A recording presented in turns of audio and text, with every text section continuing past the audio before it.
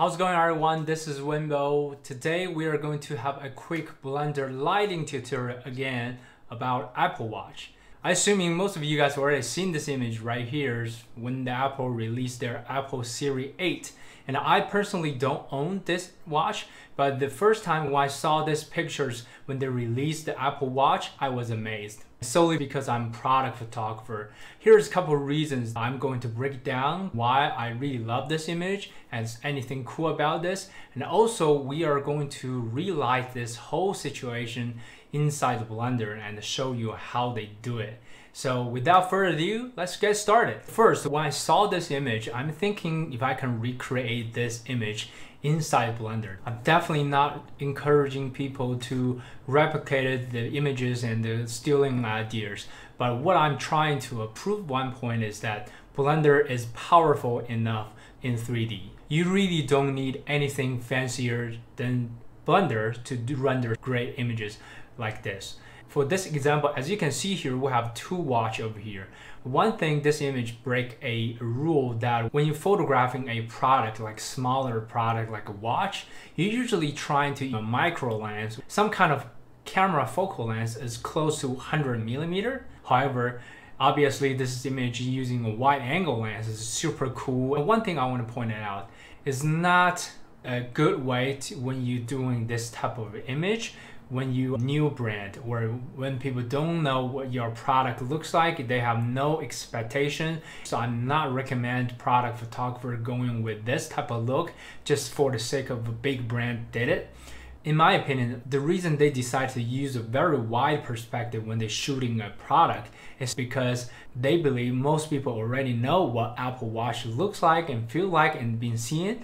This is the Series 8. The general design for the Apple Watch have not really switched whole lot compared to a previous series. So when they launch a new product line, they're trying to separate the Apple Watch 8 series compared to Apple Watch 7 series. For this visual, it totally did it because this perspective. Another thing I wanted to show you guys is if you look very close to this photo and you realize this is two different texture of the body that representing the variety of this watch and also this is not a one single image in shooting with lighting setup or rendering with light setup.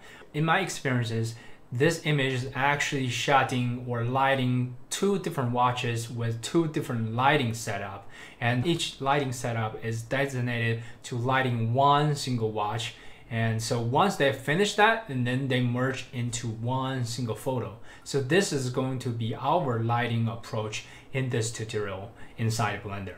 So now it's perfect time to get back inside blender and see what we can do in here now I'm inside Blender. As you can see here, we already have a render preview, but this is not really the final result because look at the reference image in here. We have beautiful highlight and we have more details on lighting in here. And we are going to break down this lighting process into two parts. One part is for the top watch, the other part for the lower watch. So let's get started with the top part. And as you can see here, we have a lighting in here. If I'm open this thing up, and getting everything light up. This looks very similar to what we're trying to accomplish in here. A couple highlights on each side and we are illuminating the very reflective surface of this watch.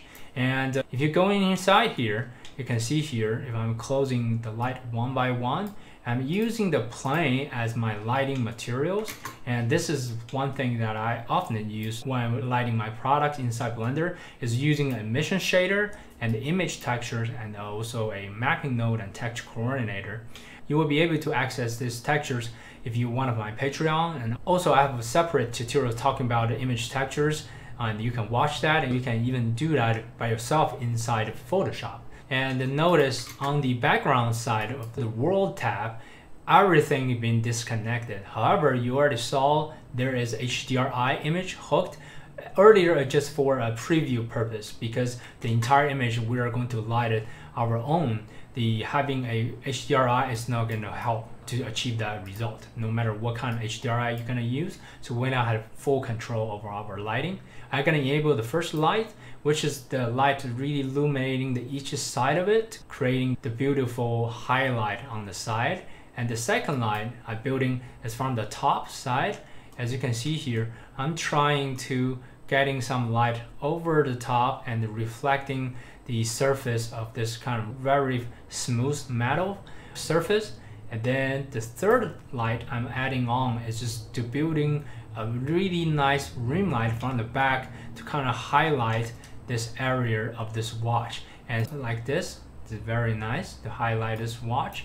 And then I'll keep adding another light illuminating the front face of this watch. So the light is actually down here, so you can you can actually manipulating and uh, changing the hot brightness going on here. But the whole purpose in here is kind of creating a gradient light across the face.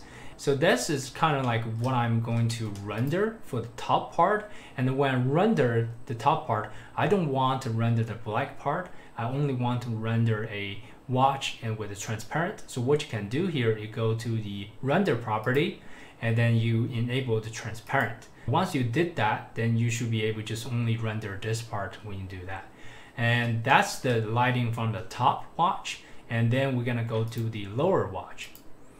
So if I enable this folder, now you see the lower watch. We'll have more lighting down here simply because we have more details we're trying to show in here. So I'm disable all that and making sure I have the lower watch. Now let's get it started one by one. So having one watch, definitely I need to having a rim light on the both side. And as you can see here, it looks closely, you can see this is a kind of a matte surface that the, the Apple Watch is trying to representing. Then right here, it's not really smooth like metal part of it. So this is kind of something that we want highlighted. And then of course, adding another light to getting the highlight on the top in order to show the different texture of this watch face. And so we have that done. And adding a, another light down here to creating a gradient from the back side to cross make the lighting fading across the, uh, the top edge and to the other side. So the brightest part on here is over here. So I can see here the lighting is on the far away but uh, it's because the top watch is really reflective you'll be able to having the light across over and see that and another light we're adding on is just very tiny light right here. You can see here. This is the light we're trying to illuminating some details in here. Doing this is very subtle, very minor. However, it's actually adding a good amount of layer on this watch and make it look more 3D, okay? And then one more two lights actually is to illuminating on both sides. You can see here, these two lights is illuminating the band. We have some details on the band side of this watch. So really highlighting the curve and the beautiful design of this Apple Watch. So that's what we're having here. One last light you can see here, this is called dial light. And we don't have a whole lot of details by using all these big general light because this is a very small part. So I'm actually creating another dial light just for that. So you can see here we have some beautiful details down here. However, if you're just rendering this image like that, you will have a really ugly reflection on the top. Just simply because the top watch is, is very reflective. It's going to showing everything around it. So what you can do here, you are going to render one image just like this. And the second image you're gonna render it just disable this one render with that and then using the layer mask to kind of mask this part out inside of Photoshop.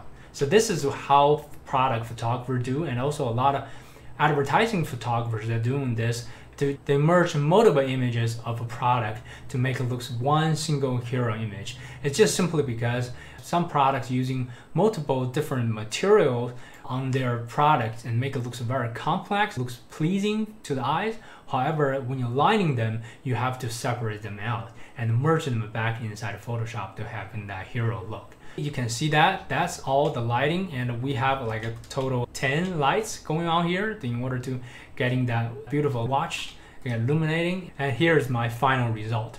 I hope you enjoyed this lighting tutorials. If you enjoyed this type of content, let me know in the comments and also if you have any other product images that you want to know lighting if you can relight it inside blender let me know in the comment thank you for watching and i will see you in the next time bye